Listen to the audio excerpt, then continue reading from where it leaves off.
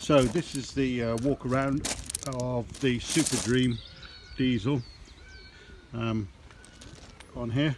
So it's got uh, 500 twin Z482 Kubota engine in it, 108 degree 500 twin. We've got a little turbocharger on it.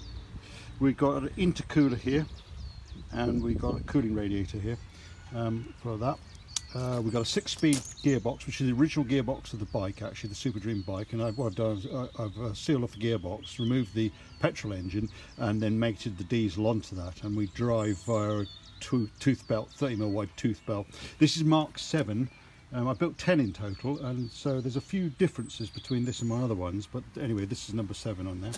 Um, the exhaust, although it looks it's going to be really noisy, it isn't because of course the turbocharger takes the noise out of it. So it's not, not unreasonably noisy on that. Um, everything else is pretty standard on there. Good thing is about it, excellent on fuel. Do 120 to the gallon, easy.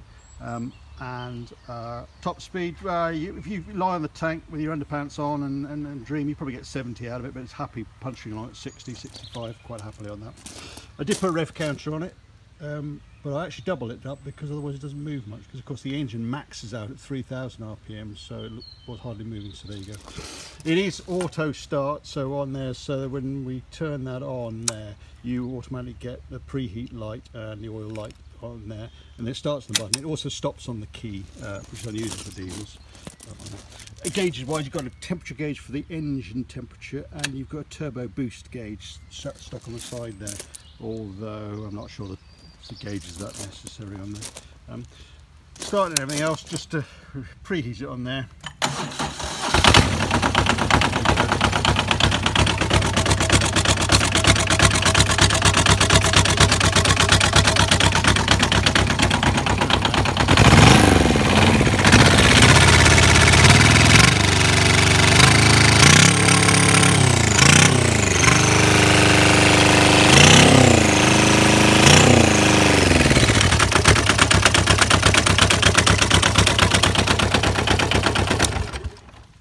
Uh, there you go. Bridie wise, what's it like? Well, it's a bit like, uh, an, uh, if you've ever driven Arctic, it's like that. Um, so you uh, got limited power, huge amount of torque being compression ignition engine. And once you get it rolling, your six speeds means you always keep the engine at its maximum torque. And so when you come to hills, I mean, you just click it up through the gears. Uh, quite nice to ride because of course a little turbocharger here has a little whine you can hear and, and it winds itself away. Um, as you can hear. So it's quite fun. It, it is one of the joyous things about it. Um, very, very reliable. Um, on this side, you've also got a monster alternator, which was the one fitted by the Kubota. You got about 30 amp alternator, so it's got plenty. But it's also got to have a huge battery under the seat. We've got something like a, a 24 amp hour battery to turn the thing over because it's very heavy to turn over, very heavy on current. Um, you oil filter there, uh, for that. Diesel filters underneath the bike there, just poking down there, you've got a diesel filter on that. Gravity feed system.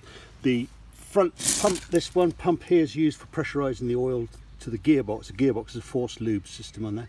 Um, there you go. Well, I've done, done about 3,000 miles on it, I suppose, and uh, no problems. Filled full of spiders. It's been in storage for the last uh, three years. I was dreaming of using it, uh, doing something with it, but I haven't. Paint wise, a bit tatty, but it's got the look. I've put brand new tyres on it. Um, not sure they improve the handling, but it's certainly uh, less slippy off-road, I must admit. And uh, it does grip quite well in the mud. Uh, but there you go. Anyway, hope that's useful.